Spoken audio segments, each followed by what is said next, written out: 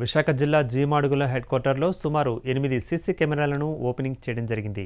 దీనికి ముఖ్య అతిథిగా ఓఎస్డీ సతీష్ కుమార్ హాజరయ్యారు. CI G D Babu SI Upendra సహకారంతో జీమాడుగుల వ్యాపారస్తుల సంఘాలు అన్నీ కలిపి స సుమారు లక్ష యాభై వేల రూపాయలు పెట్టి సొంత నిధులతో ఈ కెమెరాలను ఏర్పాటు చేసుకోవడం జరిగింది.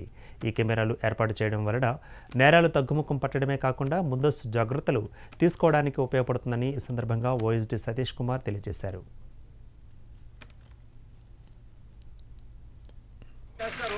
చూస్తే ఏం చేయరు కాబట్టి కెమెరాలు ప్రదర్శించాలని చెప్పేసి మన లీడర్స్ అంతా కూడా ప్రశాంత్ అంతా కూడా తట్టుకోకపోతే అందరూ కూడా అందరూ కూడా కలిసి వీళ్ళే సొంతంగా ఒక లక్ష డెబ్బై వేల రూపాయలు సొంతంగా ఫోన్ చేసుకొని ఫోన్ చేసుకుంటూ కెమెరాకి మాకు ఏ ఫోన్ ఏర్పాటు చేయలేదు సార్.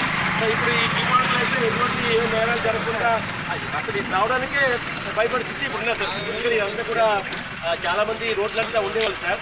ఇప్పుడు అమ్మాయిలు ఏడ్పించడం కానీ తర్వాత ఇంకొకరు వచ్చి ర్యాగింగ్ చేయడం కానీ ఇంకొక నేరం చేయాలనేది ఆలోచన ఉంది సార్ ఇప్పుడు అదేం లేదు సార్. ఉంటే కెమెరాలు ఉన్నాయి పోలీసులు వస్తున్నారు అని చెప్పేసి కూడా సో పోలీస్ డిపార్ట్మెంట్ వారు చెప్పగానే నేర నివారణలో మీరందరూ పాల్పంచుకొని సీసీ కెమెరాలకి సొంత డబ్బులతో ఏర్పాటు చేసినటువంటి ఈ వ్యాపారస్తులందరూ కూడా పోలీస్ డిపార్ట్మెంట్ నుంచి ప్రత్యేక ధన్యవాదాలు. మీ అందరికీ కలకాదు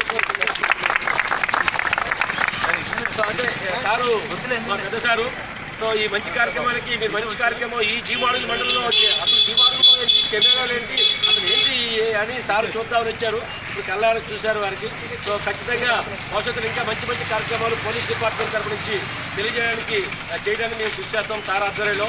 ఇప్పుడు దుర్గతిలో కానీ చుట్టుపక్కల గ్రామాల్లో కూడా వాటర్ కూడా వాటర్ కూడా చాలా స్పెషల్ జరిగింది అలాగే త్వరలో పోలీస్ డిపార్ట్మెంట్ తరపు కానిస్టేబుల్స్ జాబ్స్ కూడా త్వరలో రెక్రూట్ చేయబోతున్నారు వాళ్ళని ముందస్తుగానే ప్రిపేర్ చేసి మన యూత్ని చెడుబాటు పడుతున్న యూత్ని మంచి మార్కులు నడిపించడానికి దాని కూడా ఒక ప్రణాళిక చేయడం జరుగుతుంది. అమ్మాయిలు కానీ అబ్బాయిలు కానీ ఏ విధంగా ప్రిపేర్ అయితే పోలీస్ జాబ్ వస్తాయని కూడా ఫ్రీగా కూడా కోచింగ్ ఇవ్వడం జరిగింది గతంలో.